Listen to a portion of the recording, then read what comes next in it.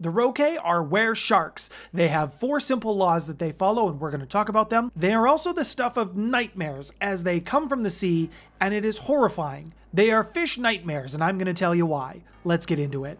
Hello everyone, welcome to the Maple Table. My name's Nathaniel. This is a channel where we discuss lore around Werewolf the Apocalypse and Starfinder thus far. If that's something you're interested in, I would love to have you join me at the table. You can do that by hitting the subscribe button and the bell notification so that we can crack that YouTube algorithm. Very quickly, the set has changed and it will change a little bit more. I was hoping to get something that's a little bit better to look at than a sort of an off-kiltered view of what my office was. So hopefully you like the change. I got some new lights. I really like them. And I'm also getting something to fill up the space behind me over here.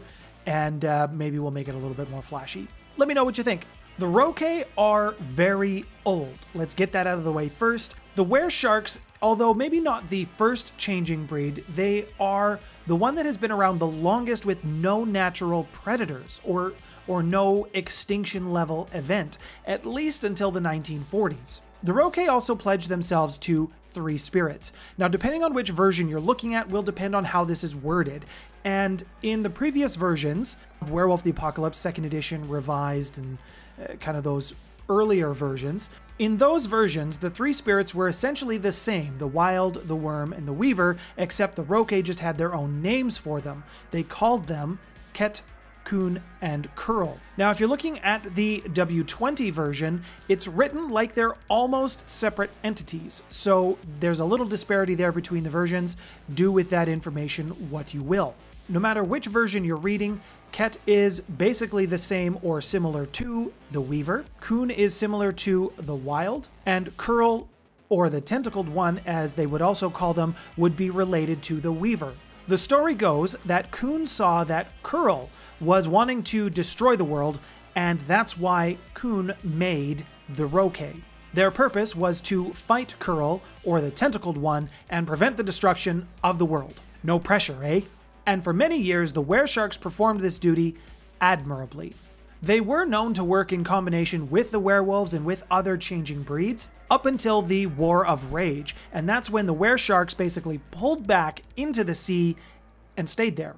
Many of them mourned the loss of their unseed brethren. That's what they called everybody who didn't live in the ocean. Now let's put a couple of things into some perspective here.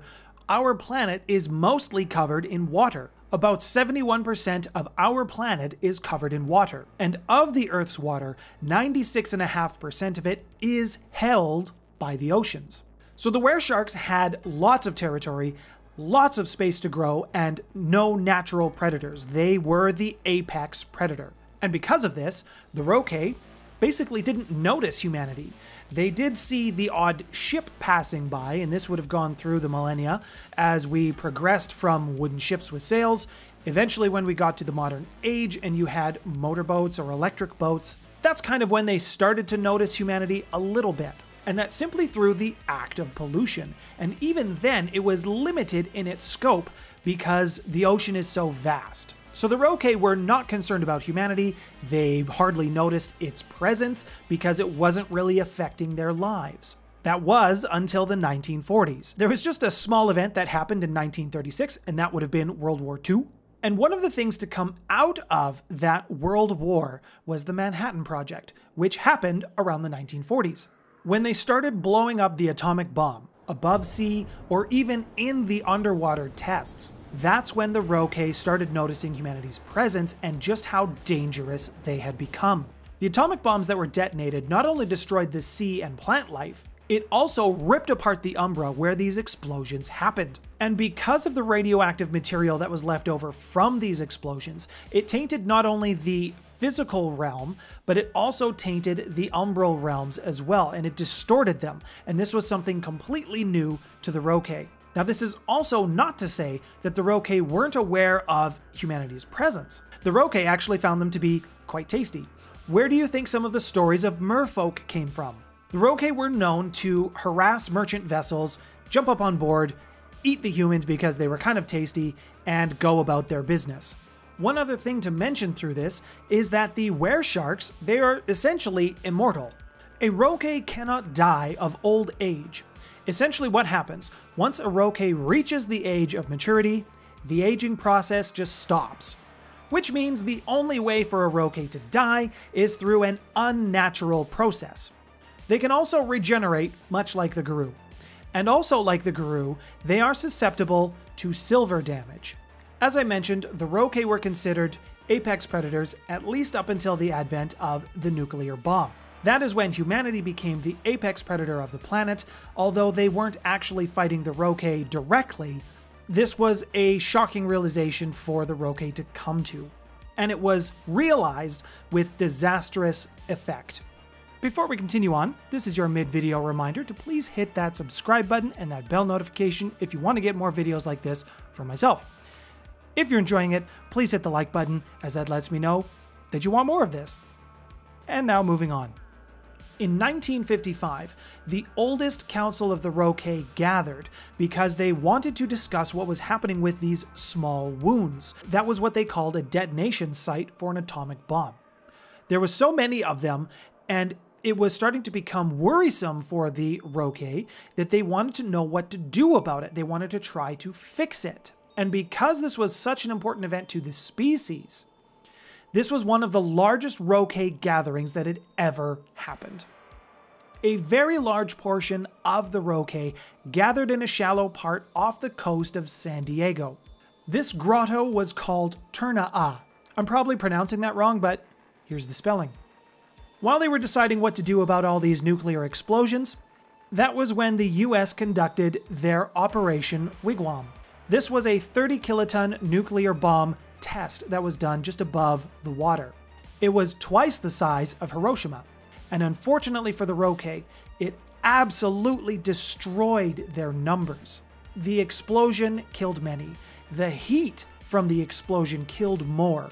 And those that survived the heat and the explosion were killed by the radiation. This single event killed three quarters of the Rokea population. The Rokea understandably lashed out. They rightly believed humanity was responsible and they took it out on them. Ever wondered why people have a fear of sharks? When a Rokea changes their shape, they are able to not only just take the shape of a freakish were shark mashup beast thing, they are also able to transform parts of their body into weapons so you can have a sword arm that's literally attached to you. They can literally shoot their teeth out of their mouth as a very powerful projectile.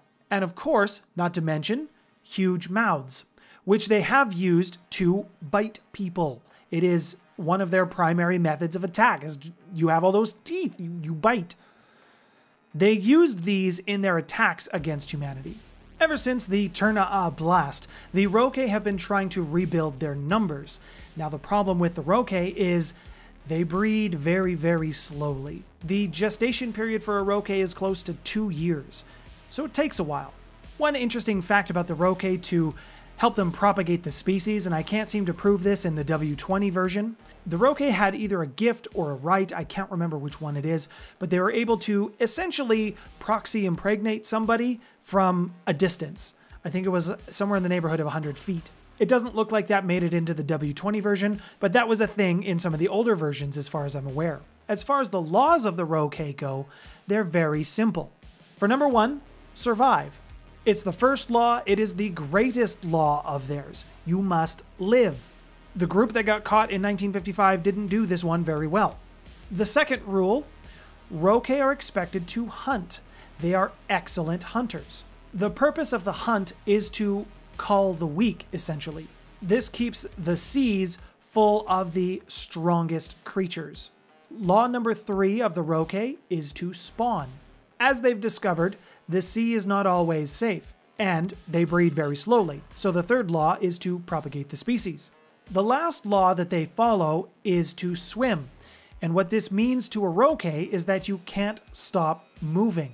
A Rokea feels a constant pressure or a constant need to want to explore. It's just written into their nature. And this law of theirs is more or less a permission to just go out and find something new.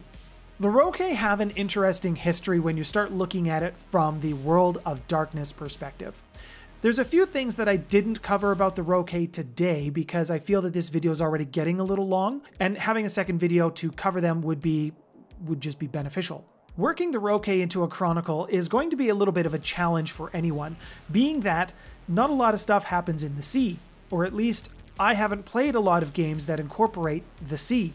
And outside of water, a Rokea is mostly useless, not entirely, but mostly. So it's difficult to work them into a story effectively, especially when you're mixing other changing breeds and the Rokea. It's it's difficult to get them all to mesh really well. If you're running an underwater game, go nuts. Have you ever played a Rokea in your game? Tell me about it in the comments below. And how did your storyteller incorporate them into your game effectively? Up on the screen, I will have a playlist of other changing breed tribes that I've covered, so please check those out. YouTube will have made a recommendation for you as well. My name's Nathaniel. You've been watching The Maple Table. Thank you so much for your subscription. Thanks for stopping by, everyone.